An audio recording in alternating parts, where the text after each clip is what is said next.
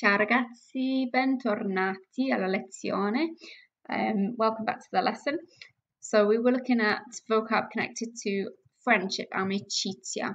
Ok, allora ci sono 10 frasi, um, 10 phrases. See if you can remember what any of them were, first of all. This is what we looked at in the previous lesson.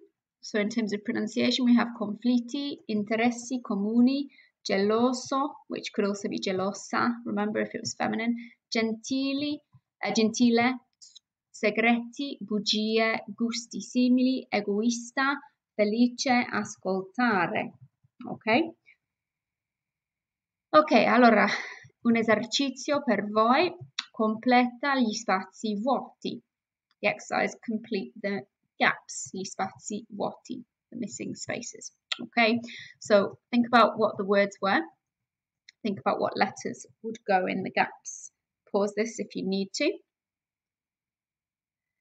If you want a bit of help, then listen to me pronounce the words once more and see if you can now fill in what the missing letters are. So conflitti, interessi comuni, geloso, gentile, segreti, bugie, gusti simili, egoista, felice, ascoltare.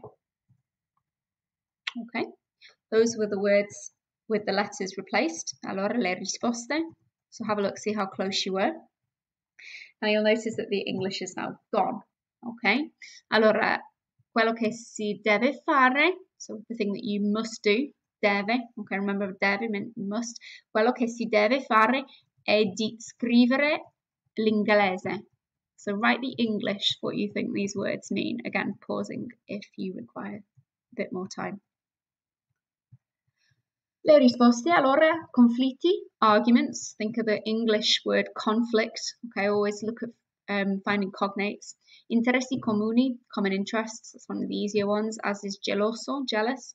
Gentile does not mean gentle. Okay, be careful with that one. Gentile and simpatico are both ways of saying kind. Segreti, secrets. Bugie, lies or fibs, I think is a common translation. Gusti simili are similar tastes. Okay, the word gusti means tastes in the literal sense as well. So if you went to an ice cream shop, they would ask you que gusto, what flavour, so what taste. Egoista, selfish, think of the word ego. Okay, if you've got a big ego, you think quite a lot of yourself, you're probably quite selfish. So egoista. Felice is happy. And ascoltare, we've used since about year eight. So ascoltare la musica, for example, to listen to music. Again, see how you got on. Give yourself a mark out of 10. Coming back to that verb that we looked at earlier on, so dovere meaning to have to or must. So devo, devi, deve, dobbiamo, dovete, devono. It's an irregular verb. Okay, you'll notice that, for example, here you've got dovere, but then straight away when you look at the I form of the verb, I must, it becomes de, devo, goes back to do for the noi and the voi form of the verb, but it is pretty irregular, so it's one of those you would just have to learn. To start with, you just need to be confident that you can say, I have to, devo. Okay, allora, l'amicizia, friendship. So what must a good friend be like? So we have un buon amico. Okay, un buon amico deve essere. So a good friend should be.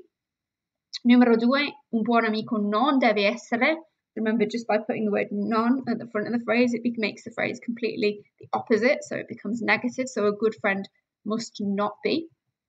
Numero tre, un buon amico non deve dire. Okay, interesting one. Dire is to say, so a good friend should not say or tell, is another word.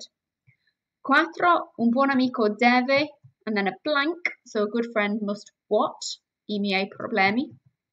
Five, we go to the dobbiamo form of the verb, so we must have now. So avere is to have. We must have something and something. And finally, non dobbiamo avere. We must not have something or something. Ok, allora completa le frasi con il vocabolario in blu di sotto. So filling in the phrases with the words given in blue underneath. So you're looking for each phrase to make sense.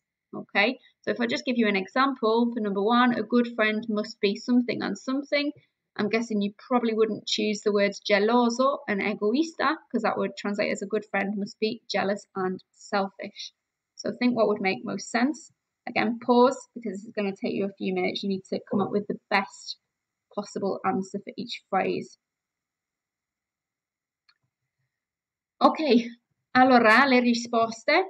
You might have different options, different choices, but some of them there's only really one thing that makes grammatical sense, okay, as well as just what means something sensible. Um, for a good friend must be, numero uno, okay, a good friend must be, um, I would go for possibly something like gentile, meaning kind, felice, meaning happy, okay, that would work. Numero due, what they must not be like, so you're looking for negative characteristics. So the ones that I gave in my initial example of what number one wouldn't be, I would have put here geloso and egoista. So a good friend must not be jealous or selfish. Un buon amico non deve dire. So number three, a good friend should not say. What would make sense here? Okay, a good friend must not say bugie is the only thing that really works. So must not tell fibs. Okay. Quattro, you're looking for a verb because remember after the verb dovere, you need to have an infinitive. So the only thing that we have here, which is a verb in its infinitive, is this one, ascoltare. Okay, verbs in Italian, remember the infinitives always end in either are, ere, or ire. So a good friend must listen to my problems. Numero 5, dobbiamo avere, we must have. I would go with interessi comuni, so common interests, and gusti simili, similar tastes. And the one that's left, remember you're looking for plurals, so generally you could have been looking at things ending in I or an E. Non dobbiamo avere, we mustn't have. What about segreti and conflitti, so secrets and arguments, in either order, obviously. Okay, hopefully that makes sense. Tutto chiaro, everything's clear. E per te, okay, and what about for you? Allora, un buon amico deve essere e non deve essere. And obviously you can add opinion phrases in like secondo me, meaning in my opinion, or penso che, I think that, or per me, meaning for me. So what do you think a good friend should be like? What must they be like and what they not be like? I've put a link here to an online dictionary which we refer to all the time.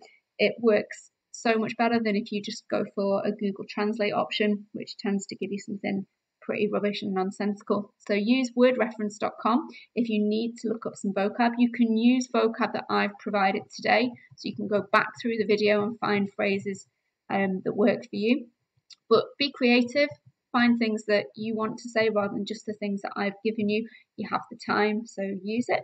Okay, so wordreference.com, come up with phrases for what a good friend must be like and must not be like, and don't just come up with one adjective, please, for each option.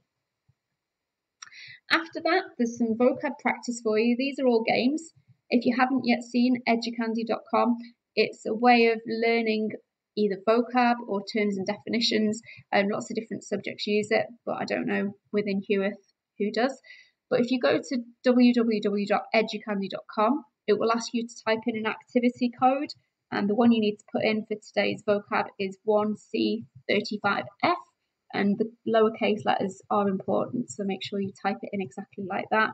And you'll see that there are lots of different options for phrases that you would need to know for the GCSE, but I haven't necessarily referenced today in this lesson. But have a look and see how you get on. Okay, altre cose, so other things, compiti, completa le traduzioni a casa. So again, this will require you to go back through the video. So go back and either copy or type out the verb dovere, okay, the verb which means to have to or must. Um, after you've done that, write out the six phrases that are below and a translation of them into English. Again, feel free to use wordreference.com for the odd word, but it doesn't work as a translation tool for a whole phrase. You should never translate whole phrases, you should work it out word at a time. So the six phrases they're using this verb dovere to have to or must extra stuff for you if you're feeling like you've got it and you want to push yourself a little bit further. Write four similar phrases of your own, okay, using the verb dovere, and also give me an English translation of it so that um, obviously I know that you've written something that makes sense. The key thing here, the starred point at the bottom, is that remember you always need to use a verb in the infinitive after using dovere. So your verb after something like devo, I must, needs to be something ending in are, ere, or ire. So look at my examples. After devo here, we've got sposare, then we've got studiare, then we've got ascoltare, andare, mangiare, and here's one which is an ere verb, prendere. Okay? They can be related to any whatever topic you like. It doesn't have to be connected to friendship or problems. Okay.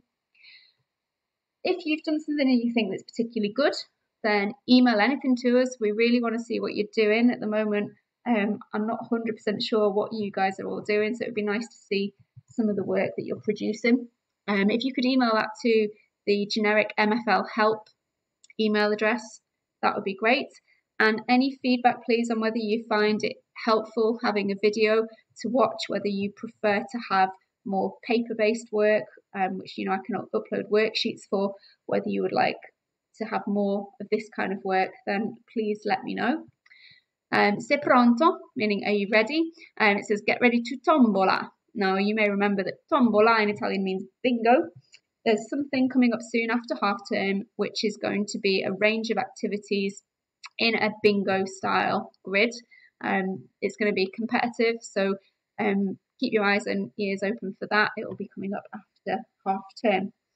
Ok ragazzi, abbiamo finito e ci vediamo alla prossima lezione. Ok, all done. We'll see you next time. Grazie, ciao, ciao, ciao.